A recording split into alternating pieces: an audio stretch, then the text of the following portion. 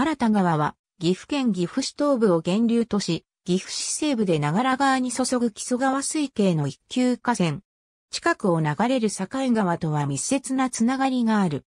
本来の新田川の水源は、岐阜県岐阜市東部の岐阜市三街道付近が源であるが、流域分離のため現在は新新田川水源とされている。境川の支流である岩地川から分流した水路も合流している。新新田川は JR 高山本線長森駅の北を西進し、南に両下川を分け、北から岩戸川が合流する。岐阜市入船町付近で南に流路を変え、加納東丸町付近で北側から清水川が合流する。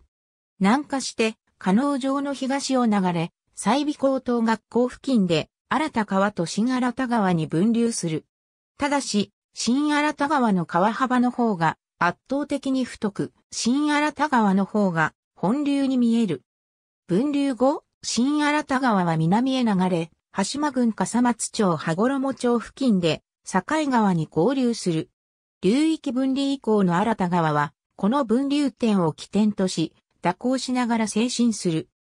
岐阜市六条高等付近で、国道21号機大バイパスをくぐり、岐阜聖徳学園高等学校の北側と、岐阜県立岐阜総合学園高等学校の南側を流れ、岐阜市南西部の岐阜市日置港で、ロンタ川と合流した後、長良川に合流する。新田川は典型的な都市河川であり、かつては汚れがひどい時期があり、日本の郊外市に登場している。1918年、紡績、製紙、食品工場からの排水が下流の農業や漁業に影響を与え、日本一汚い川というレッテルを貼られた。その後、自治体や地域住民の努力で徐々に改善されてきた。